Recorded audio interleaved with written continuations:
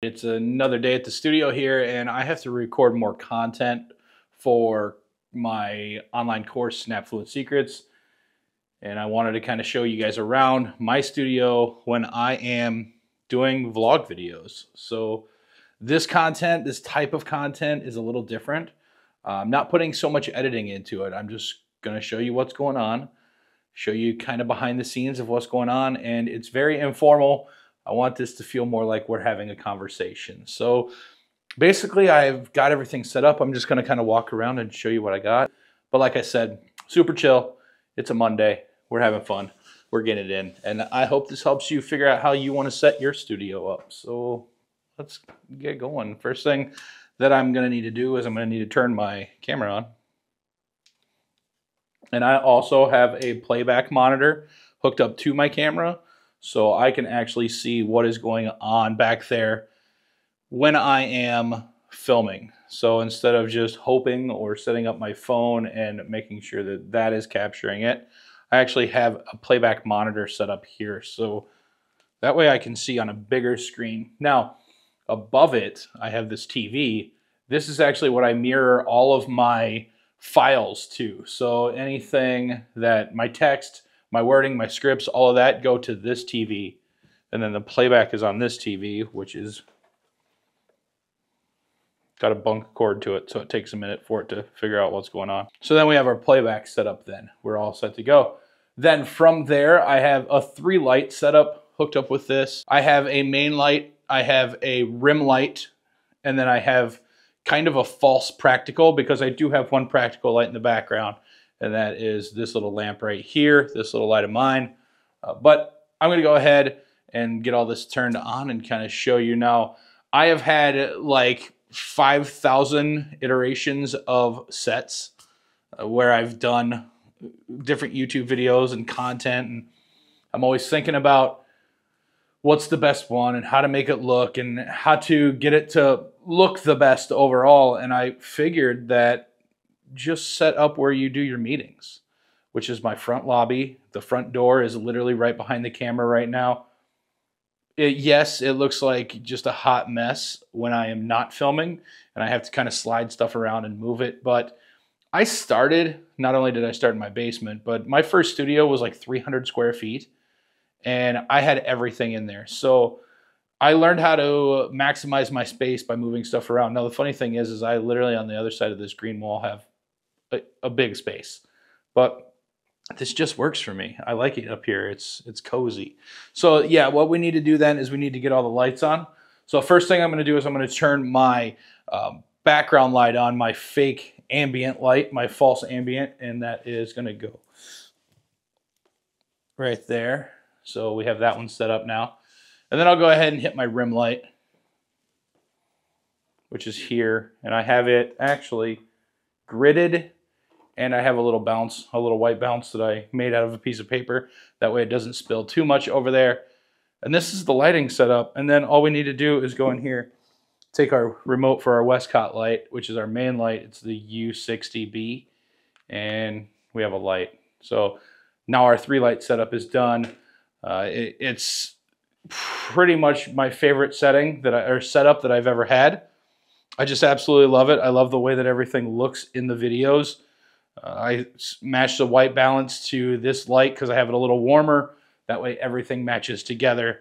And I just really just absolutely love the way that it looks. Now I need to get my computer out, get all the recording stuff hooked up next. Along with computers, uh, it always comes down to that debate, Mac or Windows. Uh, it's kind of like Ford versus Chevy or Android versus iPhone, honestly it's user preference in today's age. Now, with that being said, I prefer Apple products and I have all Apple products. And the reason that I prefer that is because of like seamless transition from app to, uh, from iOS to OS and back and forth and being able to airdrop. Airdrop is like my favorite thing in the entire world because then I can create stuff and once it's created, I can go ahead and just send it right over to my phone and then share it directly from there. So it just works incredible.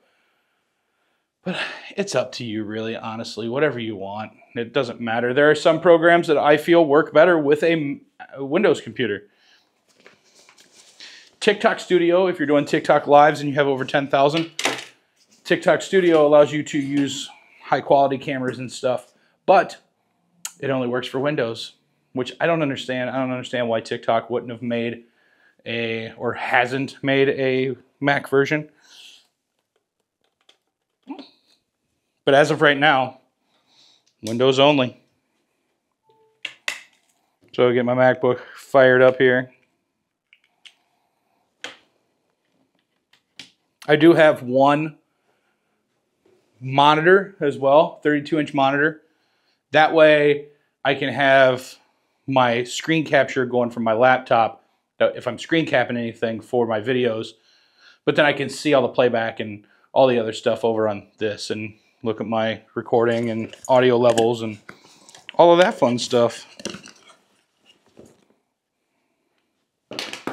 So that right there is all that I need.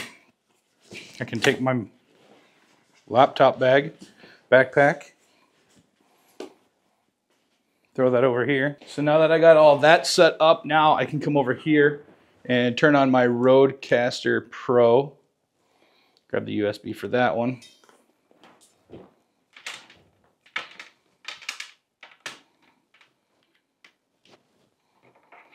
grab my HDMI cable.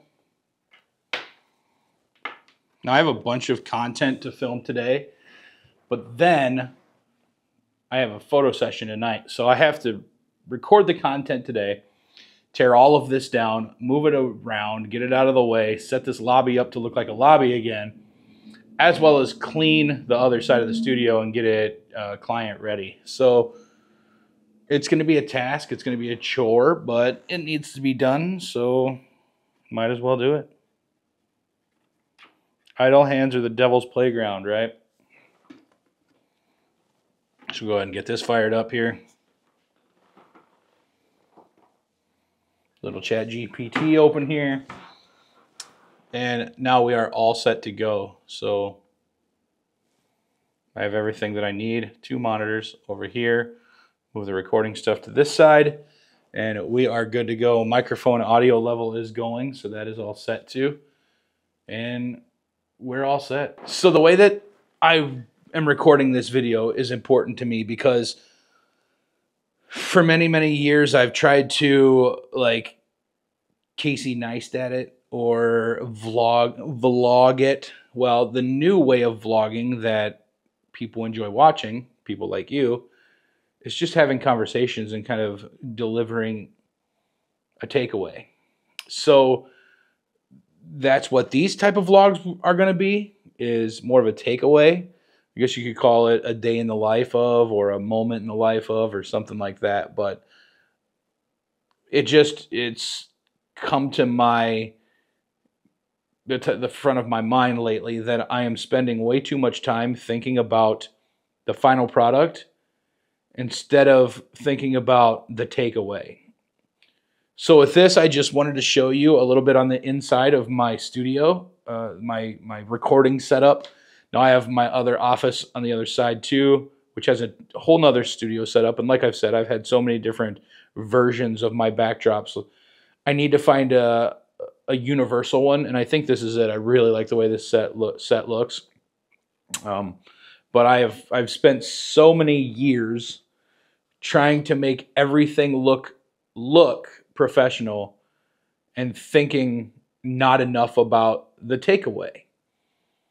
So the new videos, they're not going to be as B-roll uh, centric and music and transitions. It's just going to be conversations and and showing you my life, my side of things as a photographer, as a content creator. I, I think it it's going to be different. It might take a little getting used to. Now the editing videos and the other like tutorials and tips and tricks, those will have your your your what's up guys, this is Josh type situations. But with these ones, I'm not I'm not doing that. I just want to talk to you guys. I want to inform you of stuff. I want to just kind of show you my life as a photographer because I know that if you're watching this, you're either one, a family or a friend, or two, you're a photographer trying to learn how to grow your business. So if I can just deliver valuable information with all the fluff around it, I'm going to do that. And I'm going to show you my life as a photographer and just give you some pointers if you want to do it yourself. Because there's enough room for all of us in the photography industry. I just don't think that everybody knows how to maneuver through all of that oversaturation of the photography market. So I want to show you how I do it, so show you how I've done it, and kind of just give you the rundown on my life as a photographer and what I go through. The vlogs are going to be different. They're going to be this new vlog style that a lot of people are moving to. But it's about the content. It's about delivering information that you can take away and you can apply to your day to day life, your photography business, whatever it may be. It's about delivering high quality content and not worrying so much about high quality video effects and retouching. So I have some content now that I need to record.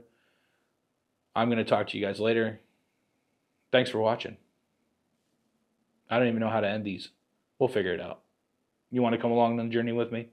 I would really appreciate it. Talk to you later.